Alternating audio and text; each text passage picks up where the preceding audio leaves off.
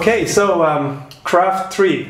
So this is now um, the third part of what we uh, started with Lambda in the center, Mm-hmm. async sync. Then we started to look at how to implement um, backends for a web or mobile application. Yeah. We talked about API gateway. We talked about ALB and AppSync.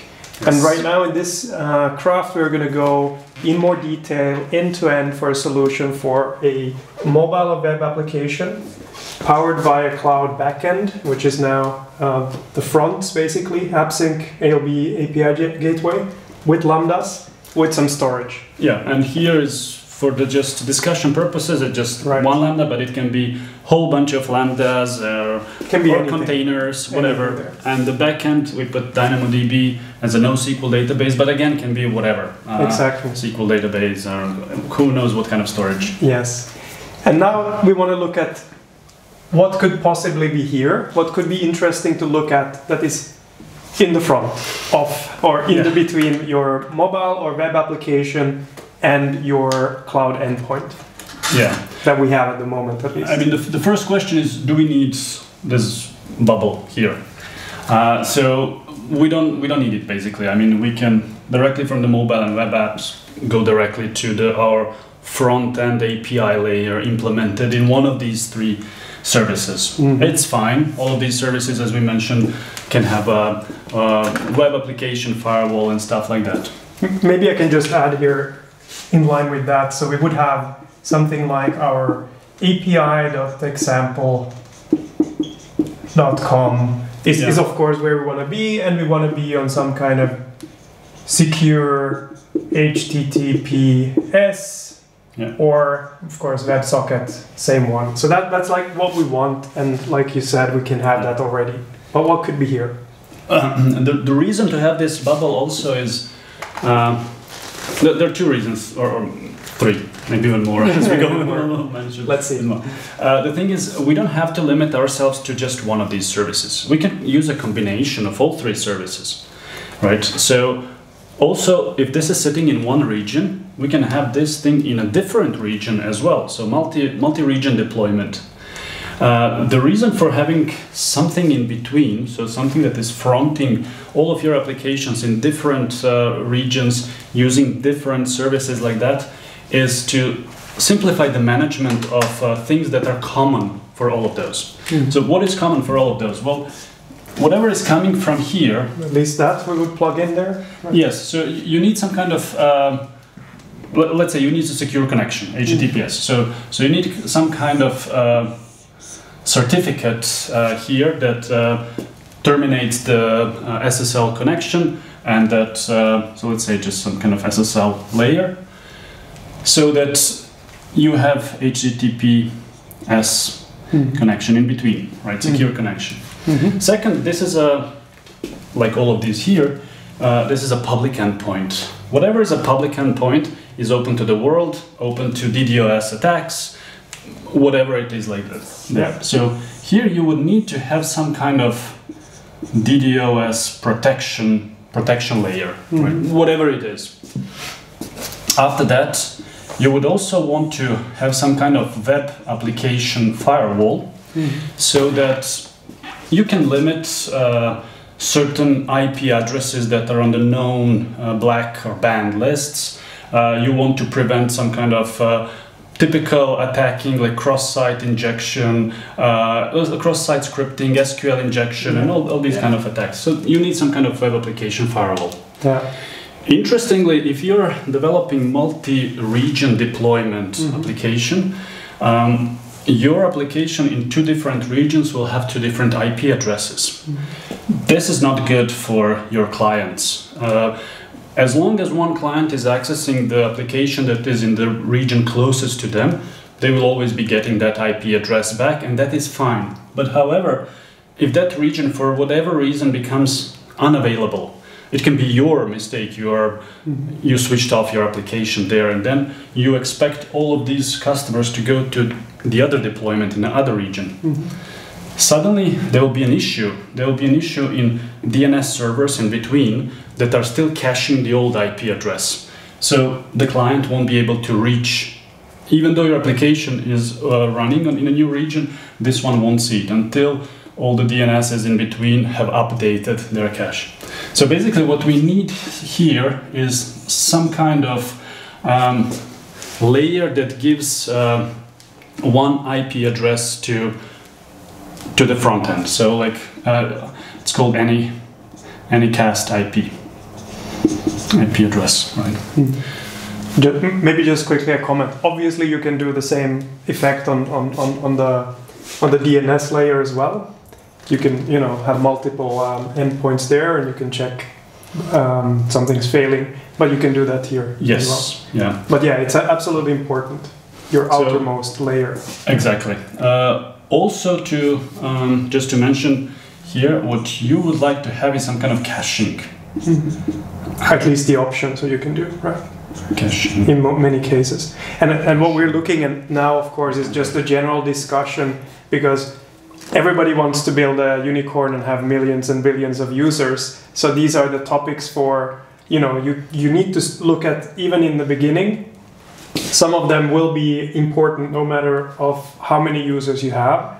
Like you said, um, having security, having security on what you're sending, having security on the endpoints. These are doesn't matter how many users you have because you're it's all public. And actually, if you're on AWS or in a cloud, these are just you know basically the, the list to go through and attack for somebody that wants to do it, and that happens all the time. Whatever application you make, as long as it has a public IP address, it is a candidate for billion requests Mhm. coming from the faulty um, IoT devices that are used on purpose to target your application, Mhm. or you suddenly overnight become super popular website. So always keep that scalability in mind from from day one. Yeah.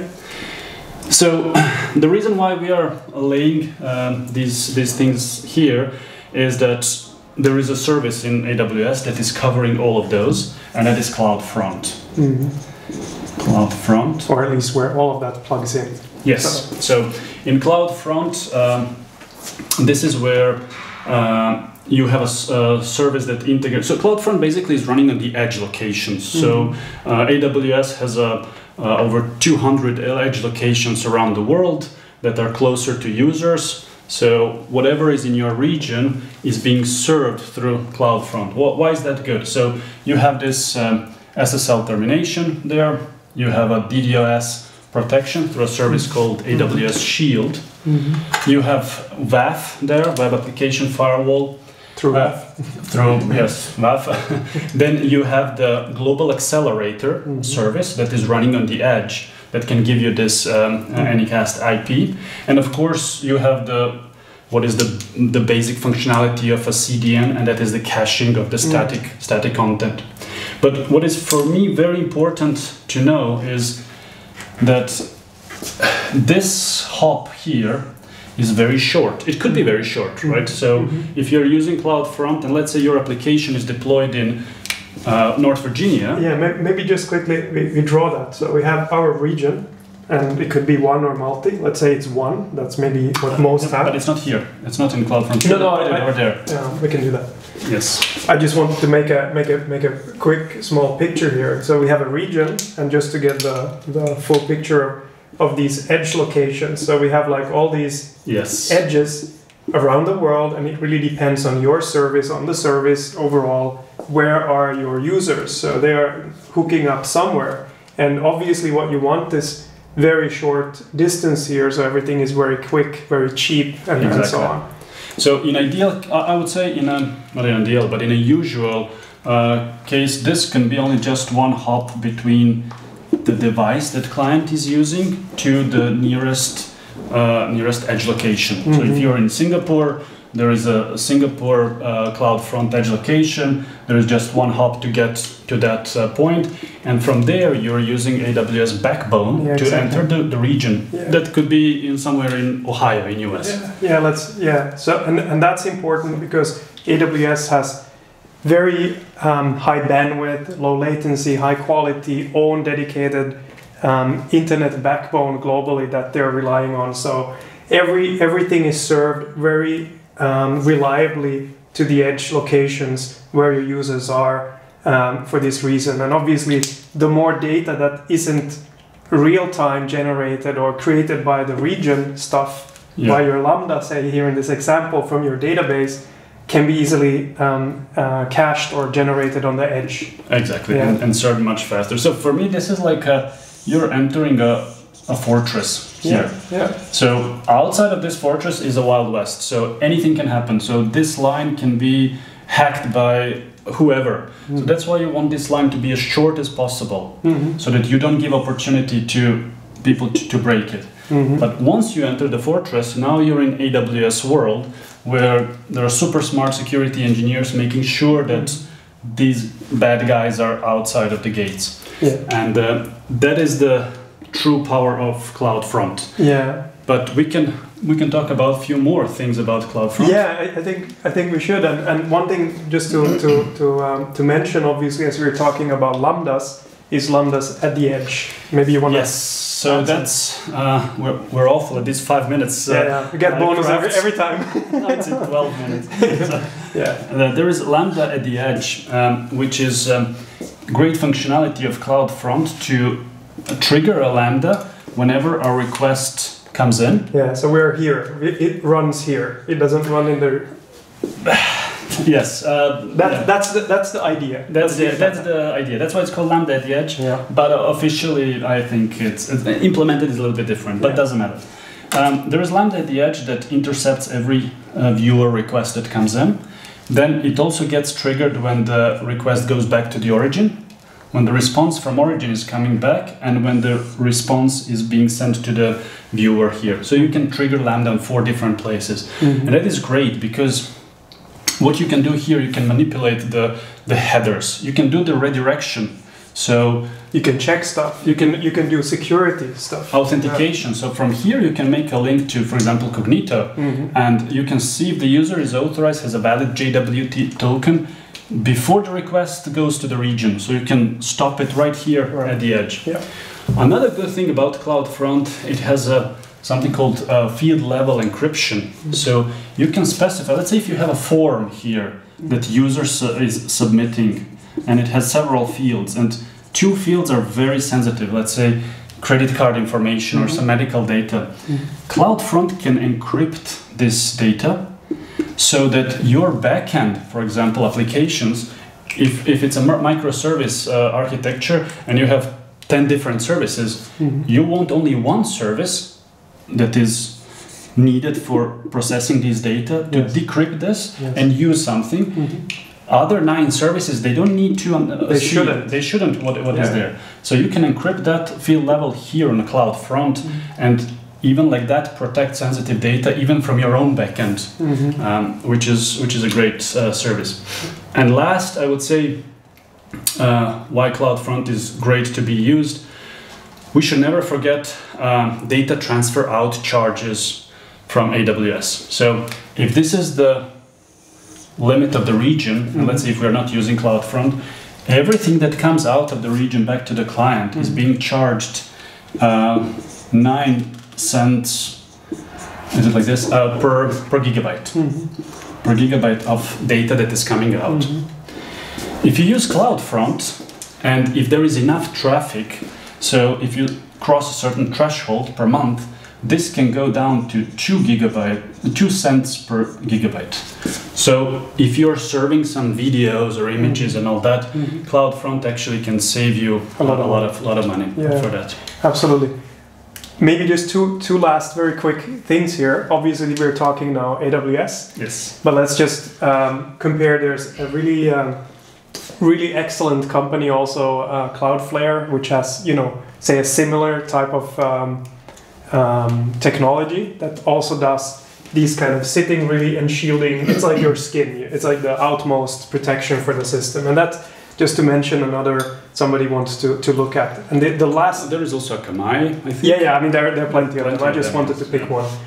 Then the, la- the the last thing, which I think is super exciting, and we talked about it the other day, and we should do another craft, is wavelength because of, we talked about one hop Well, and being on the edge. It's Yes, the next we'll, next level. We'll talk about Yes. wavelength as well. But one more thing before we run this uh, five minute Last one. crafts within 20 minutes. Uh, Yes. Let's let's say that um, also something that all of these goodies and that is important for people that are running applications uh, with uh, on-premise in data centers. CloudFront integrates with any kind of origin, uh, so it doesn't need to be in uh, in AWS. You can easily get. Let's delete this. Yeah, we- Uh, we can just add here. yeah. So this is now on-prem. It's on-prem. It's uh, your data center and your web application there. If your web application is under experiencing DDoS attacks or has a, a reverse proxy here that can accept only I don't know 2,000 concurrent uh, uh, requests and cannot scale more than that, Mhm. what you can do is you can actually link with CloudFront. Your application stays unchanged, so you don't have to make any kind of investment there. Mhm. You just link it with CloudFront and you get these benefits out of the box. Yeah, and yeah, that this is, uh, Very interesting. that is very Mhm. good. And then you can make the same things like you would do here. So if these are public endpoints and then you want to prevent users from bypassing CloudFront and going into your public endpoints, you can do things like using a headers, custom headers here Mhm. that are recognized by these Yeah, endpoints Yeah. here and um, and are only allowing requests that have these custom headers Yeah. here. This is how you uh, link it. Yeah, Pe- pegging these two, you know, one, one, one to one. So Exactly, and you're even though these are all visible from outside, if you don't have this custom header that is set up on CloudFront, you won't be able to. The access will be denied. Yeah, absolutely. Cool. Yeah, that's great. A very short craft again. Extra bonus. we'll try to do one in three minutes. Yeah, yeah. time. We'll do a few short Cool. ones. I hope you enjoyed this and um, see you in the next episode of uh, soon to be one hour crafts. Yes.